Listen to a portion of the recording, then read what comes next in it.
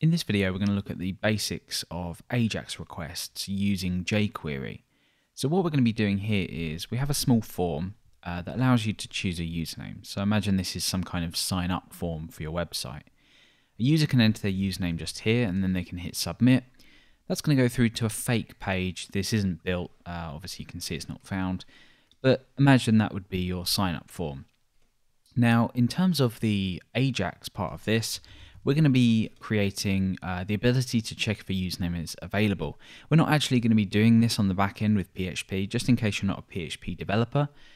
But what we are going to be doing is covering how we correctly AJAX to a specific file to then return a JSON string which contains whether the username is available or not. Now, that does sound a little bit complicated, and if that does throw you off, don't worry, it's a lot easier than it sounds. And you can then go ahead and on the back end, uh, do what you need to do to output this. So if we click check username is available here, uh, you can see that we get this, sorry, that username is not available. We get a little notice under here. And we're doing obviously all of this with, with no refresh because we're using Ajax. And if we were to go into the back end, this is uh, essentially what's happening at the moment. It's just encoding this array in PHP. So essentially what we're going to end up with is something like the following, but with JSON. So it will look like the following, available true or available false. Um, obviously these will be double quotes. That's what we're going to we're going to output. So whatever backend language you're working on, as long as you can encode a an array or something to create a JSON string output, then this is fine. So if we change this to true, let's say we make a connection to our database here, check that username, and we check that again, you can see now it says that username is available. So we'll be building this with jQuery. We're going to get stuck in and write the markup that we need for this form and just explain how we're naming everything. And then we'll go on and then we'll actually create our JavaScript to be able to uh, send a request to the server and give us a message back. So the only files that we're actually starting with here is index.html, which just has an HTML5 uh, doc layout here um, just a title, nothing special at all. And then we have uh, a folder called check, and then inside this we have username.php, and that's what we just saw a moment ago. So go ahead and create the functionality to output this. Otherwise, if you are working with PHP and you just want to test this in terms of the front end, just do exactly this, and that will just give you um, your little um, JSON string. So we can actually preview this from here by saying check username.php and what we're going to be doing is passing a username like the following. So I could say username Alex, and that's going to give me this JSON string here. Uh, I have a front end formatter, but essentially that's what you're going to see. So that's what we're going to be doing to easily pick this up within jQuery, um, because JSON naturally works with JavaScript really well. So inside of the body then, we're going to create a form. Uh, this is going to go through to a fake page, signup.php. And the method here is just going to be post. Um, we're not actually going to be submitting this form because we don't need to. Um, in fact, let me just turn autocomplete off as well so we don't see previous usernames. And let's create a label now. Um, and we're going to say this is for username. Choose a username. So this is going to be our, our label. And then here we're going to have an input type with text. Um, we give this a name, username, that's just what's going to be submitted through to the server. Again, we're not going to be using this. And we'll give this an ID so the label matches up. Now we're also going to give this a class of username hyphen target and we're going to uh, prefix everything that we want to do with this username checking with username hyphen. And this is the target uh, where we can extract the value to send through within the AJAX request to be able to check on the server. So down here I'm going to create an anchor and this is just going to have a, hash as the href. And the class for this is going to be username hyphen check.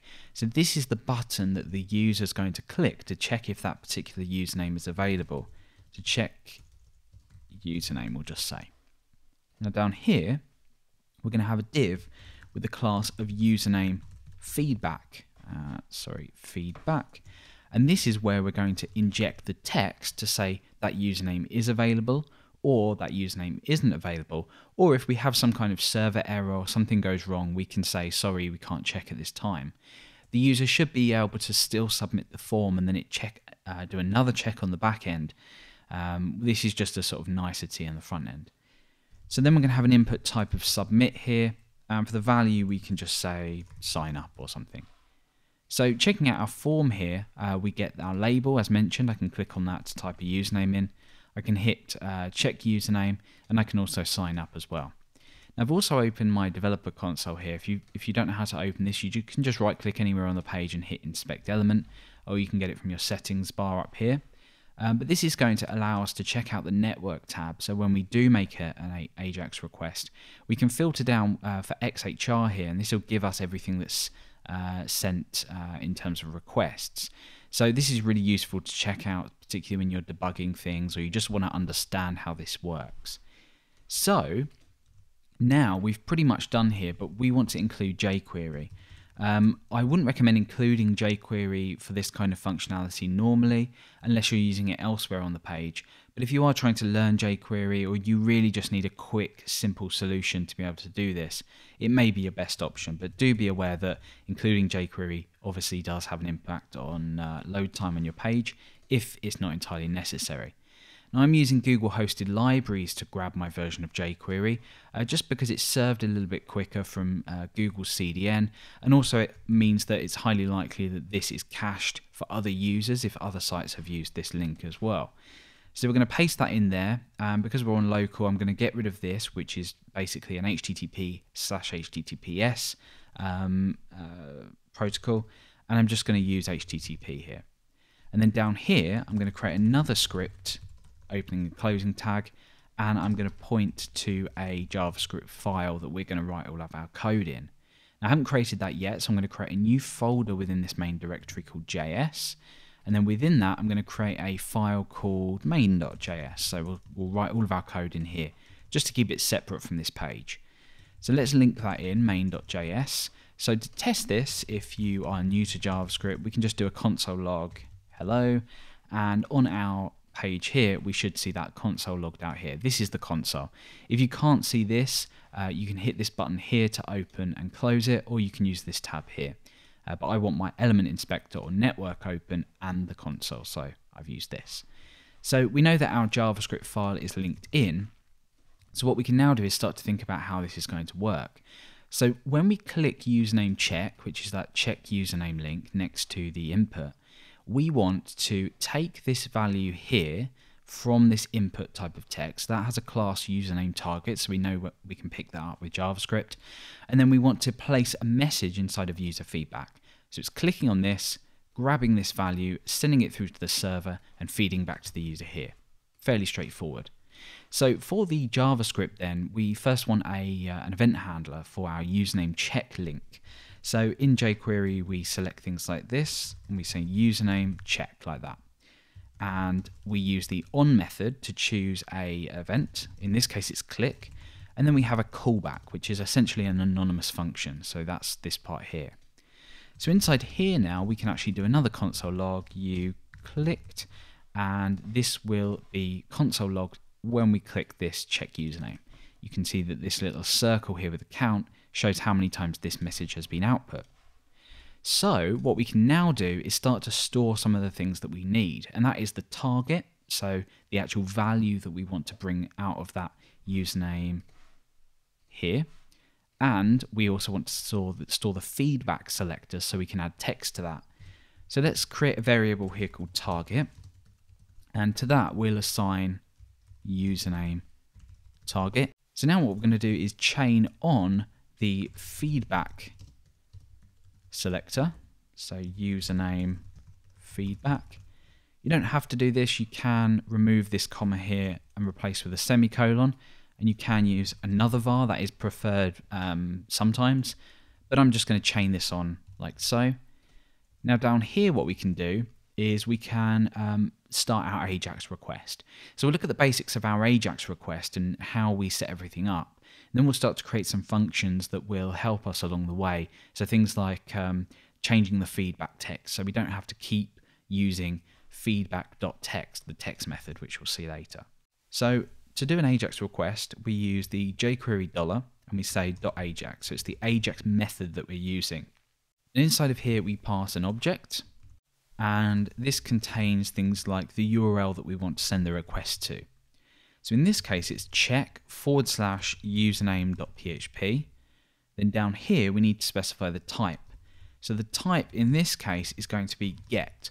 Obviously, we can have get, uh, post, and other HTTP types, but in this case, we just want to get. So essentially, the URL that we're going to be sending this to will look like the following check username.php username equals Alex. So that's how our URL is going to look for our, our Ajax request. Um, so we now need to send some data through to this page because what's the use of hitting this page if we don't have a username to send through to it and look up in our database? So we use this data and another object here. We give the property name, so username I'm just going to call this, and then I'm going to choose the value from this target. So remember that's our input, and jQuery gives us a method called val, so we can do target.val. And this will basically be Alex or Billy or whatever I type into there. So we need to, well, we don't need to, but we can define which data type we're expecting back from this username.php file. And I'm going to explicitly define this just so it's a little bit clearer. And we already know we're expecting JSON back. Now we have uh, two callbacks here. One is success, so we add another closure here, and then down here we have an error, so we had an have another closure. And basically what this means is that when we hit this file, if there's an error for any reason, say this generates a um, an error, maybe a 404 or a, or a 502 or something, uh, this will hit this error here. There's plenty of options we can use, but in this case, we're just going to say, sorry, can't check at this moment. So um, down here, let's just test this out. So console.log error. And up here, let's do a console log. But this time, I'm not going to log success, I'm going to, from this argument here, this will be the data that's contained with within here. So it will output obviously our JSON. So in here I can say data. So let's take a look and see what happens here. And we'll take a look within Chrome and see how this works in the network tab. So I'm going to type in Alex here and I'm going to hit check username. Um, you can see we've already got console logged back an object, which is what we expected. Uh, we know that we have JSON coming through and this looks like it's been parsed. Now, when you parse JSON, you basically take it and you'll turn it into a JavaScript object. So in this case, we have an object in JavaScript with a property called available and a value true. This can obviously be true or false. And if you're under your network tab, uh, you'll see that you get the uh, get request to username.php, passing username equals Alex in the query string, which we expected because we're doing a get request. And when we click on this, we can see that we have the response here as well. Uh, you can check the headers out and things like that. But uh, essentially, the response is the raw response. So this is the string that's generated by PHP, and the preview here is actually the object itself. So you can see that that uh, has been parsed there. So now that we know that we have this, we can start to do a little bit more inside of this success callback. And the first thing we really want to do is check if this available property is there, because if it's not there, then we can't check if it's true or false. So um, this isn't strictly necessary, but I'm going to do a little if statement in here. And I'm going to say if data.available doesn't equal undefined, that basically means is it defined? So this is defined. Now, otherwise we want to error. And here we also want to do a similar error. And this is just going to be a could not check at this time error. So up here, I am just going to define a couple of functions. There are better ways to structure your application. But since this is just a tutorial, we're going to create some, some functions just loosely up here. So the first thing I want to do is define a function to change the feedback text. So change feedback text. So what that will do is it will use feedback, the selector that we have up here. We'll use the text method to change the text in here. Now, where do we get that text from? Well, it will be from an argument within this function. So that could just be text and we could just put that in there. So now what's going to happen is if we use this, we can pass in a string here and that will change the text within our little box down here that we can't yet see. So that's not the point. What we want to do is if there's an error here or here, we want to change the feedback text. But because we're doing the same thing here, we want to create another function for this just so we can reuse it. So I'm going to create a function saying could not check and inside of here, we want to change the feedback text. So we can use that change feedback text function that we've created here. And in here, I'm going to say could not check at this time. That's not going to stop the user sending a request via submitting the form um, because the check on that side of things should work. But if, for example, like I said, there's some kind of error along the way, uh, this will alert the user. So in here, um, or sorry, in here, this means that the um, uh, data.available is not defined. So we're going to say could not check. And down here, we're going to say could not check as well. So just so we don't duplicate this line. So let's check this out. At the moment, nothing's happening because we uh, aren't seeing any errors. But let's, for example, say inside of username.php this wasn't available. So we're just using an empty array here in PHP and, and JSON uh, encoding that. When I hit check username, it says could not check at this time because that property isn't available. Likewise, if I was to just type a load of rubbish here, that would generate an error in PHP, and therefore, when we hit check username, we get the same error. So we've covered both of them bases. Now let's focus on what happens when this is available. So if this property here is available, we know that we have a true or a false value. True meaning that the username exists, or, or uh, sorry, is uh, doesn't exist and can be used, and false meaning that we can't use that username. So all we do is another if statement, fairly straightforward. We say if data.available available equals true, and we're using the triple equals here for type checking as well. Then we want to change the feedback text to say that username is available. And we already have a function for that up here, so we don't have to repeat this line of code. So change feedback text to say that username is available. Now otherwise, so we do an else here, we want to do pretty much what we did here, but this time we want to say, sorry, that username is not available. So now let's click or let's type something click check username. That username is available. Obviously, we're not doing any dynamic checking. We've just hard coded this value, but you can do this on the back end. And then when we type in Alex there, we get the error because I've just changed that to false. Now, remember that if you are um, using the backend file to check the database, you're going to need that username that's sent through uh, this username equals Alex here. And obviously, remember if I change that, that value just updates. The second request contains username of Billy. So just a quick one in PHP, how can we get this? Well, we can actually um, use the get super global. So I'm going to say, I'm just going to say here username, and I'm going to output exactly what the user uh, typed in. So all we do here is we say get username. Uh, probably not a good idea to actually do this because you're going to need to escape things. Obviously, when you're putting it into your database, make sure that you are escaping everything you can just to prevent SQL injection. And now, if we just take a look at the request, hit check username, um, we click on this, we can hit response, and you can see here that that has been passed through. So if you do actually need to make, well, you are going to need to make this dynamic, so you can use get username.